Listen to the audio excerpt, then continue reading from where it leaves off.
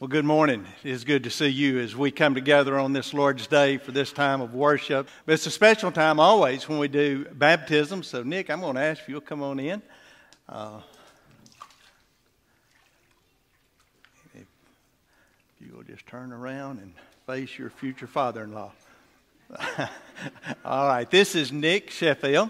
So, Nick, have you trusted Jesus as your Savior? Yes, sir. All right.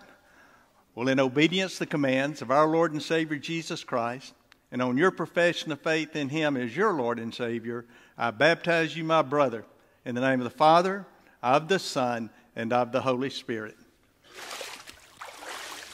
All the people said, Amen. God bless.